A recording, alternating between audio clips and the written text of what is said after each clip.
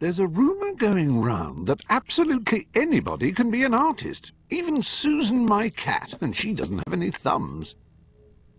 With the paint tool, the rumours are proven correct, except for the bit about Susan. It's easy to get started. Simply press down the T button on your motion controller, wave your arm about, and you're painting. How much you press the T button affects how much paint goes onto the canvas. But painting only in white is so monochromatic, so minimalist. Hold down the Move button to bring up your palette. Then point to the colour you want and release the button.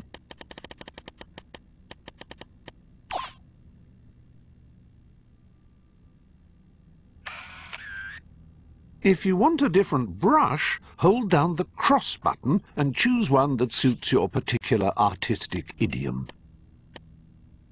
Of course, you can change the size of the brush with the up and down on the left stick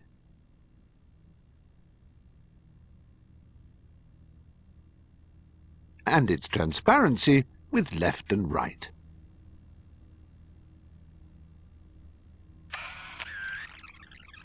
What's that? None of these amazing options suit your particular artistic idiom? Well then, my painterly chum, choose the sticker brush. And choose from any sticker in your inventory.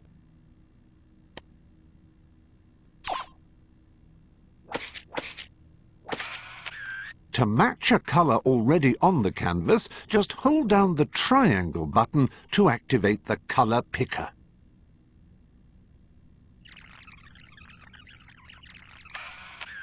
What if you make a silly Billy or a messy Bessie?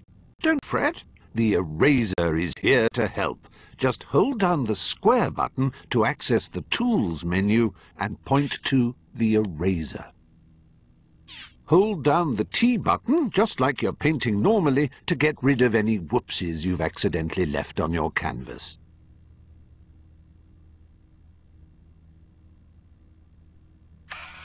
Or you can press left and right on the directional buttons to undo and redo your changes. I'd say that's more than enough to get you started.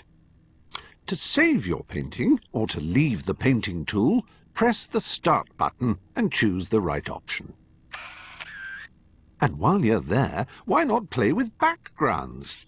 You can use a sticker or another painting as a backdrop to your work of art.